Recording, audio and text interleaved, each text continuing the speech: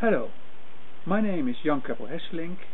I'm a professor of pharmacology and chair of the foundation IOCOB, a foundation for complementary and alternative medicine.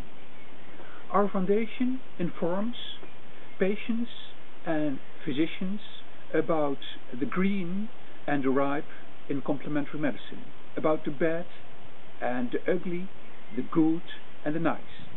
And we try to extract from the field of alternative medicine the best therapies so that patients can be treated with useful, safe and effective alternative or complementary forms of medicine. There is one specific direction in the field of alternative medicine which creates a lot of concern in our foundation it is the therapy using biophoton machines. People putting biophoton machines in the market are claiming that they have developed these machines basically related to the work of Professor Popp in Germany. These machines, such as the Starlight, operate like old machines of the electroacupuncture according to Voll. But instead of a bioresonance inroad, now they use the biophoton inroad. They claim that each disease has a certain level of biophotons or a certain level of vibrations. By detecting these ultra-weak photon emissions of the human diseased body, converting it in uh, this machine to um, frequencies which are the inverse of the pathological frequencies and then giving these frequencies as ultra weak photon light back to the diseased system, to the patient, they claim that this would cure the patient.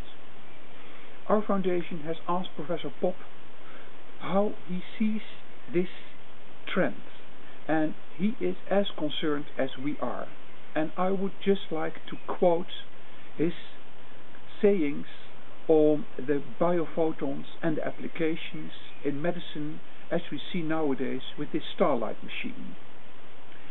He writes, We ourselves did never claim that biophoton machines are able to do anything. The living system is working with biophotons which regulate the whole cell metabolism since the about 100,000 chemical reactions which are primarily taking place per second and per cell have to be activated by photons.